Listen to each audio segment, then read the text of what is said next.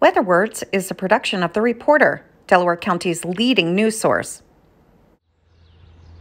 Good day to everyone on Thursday.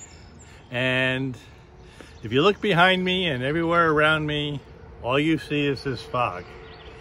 It sort of reminds me of late August, where you look and every morning you wake up and there's fog. When you see the fog like this, I can guarantee you a day of high humidity. You know the old saying, same old, same old? Well, that's the story of every day in July so far. You wake up, it's foggy, the humidity becomes unbearable later. I mean, yesterday we got to 86, the day before that was 84. Today, probably approaching 90. Okay. Now, a little bit of weather statistics. They're going to tell you the dew point 65 to 70, and that's considered muggy or uncomfortable.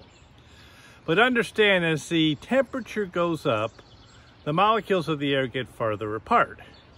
And what that really allows is more moisture to get between those molecules. So what that means is as the temperature goes up and you've got this, every breath you take in, there's actually less oxygen in it for you.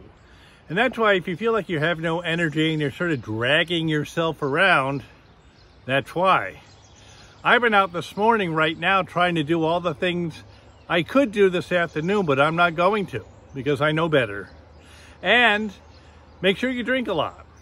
However, and this is going to be upsetting to some people, avoid your teas, avoid your caffeine products, which is most of your sodas and whatever and I hate to say it, but avoid alcohol at the same time. Believe it or not, those are all dehydrating agents. The more you drink them, the more you want. Of course, that's what the salespeople want you to do. Let's have another soda. Let's have another soda. Or let's just have one more before I go home. You know what?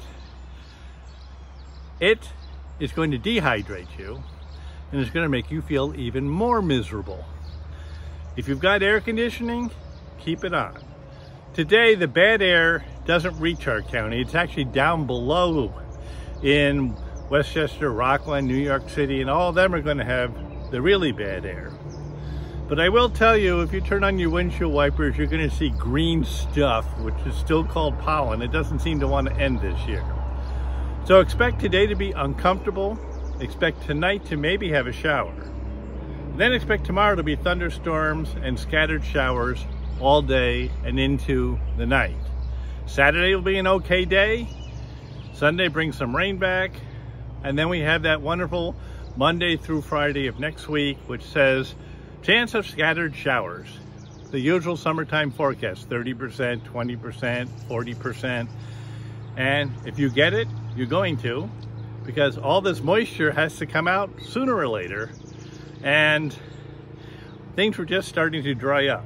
You know what? I'm not so sure about that either. However, this weather, as far as I'm concerned, this entire year has been very strange and it's still continuing, okay?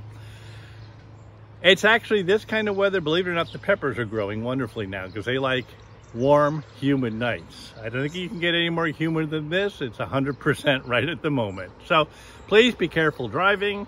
Turn your lights on so that people know you're there and just get where you're going safe today.